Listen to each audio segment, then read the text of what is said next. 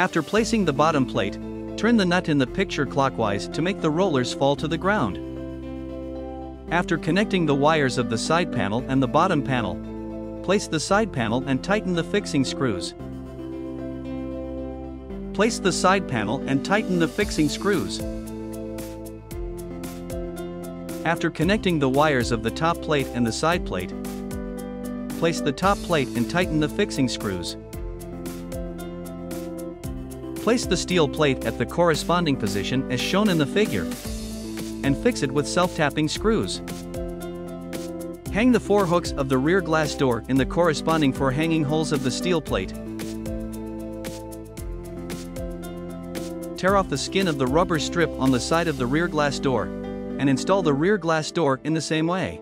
After the side rear glass door is hung, install the lock with self-tapping screws at the upper seam, and fix the steel plate with the steel pipe of the rear glass door with self-tapping screws at the bottom.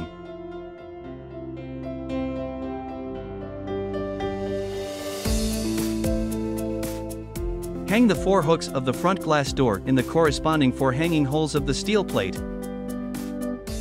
And install the front glass door in the same way.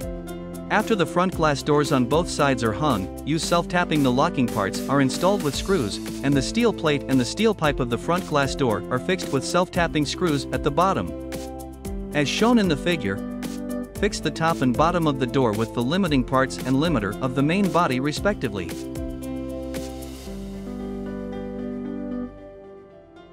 As shown in the figure install the lock cylinder and handle to the corresponding position of the door.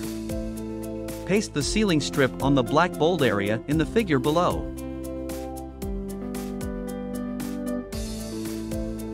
Install sofa. Install table.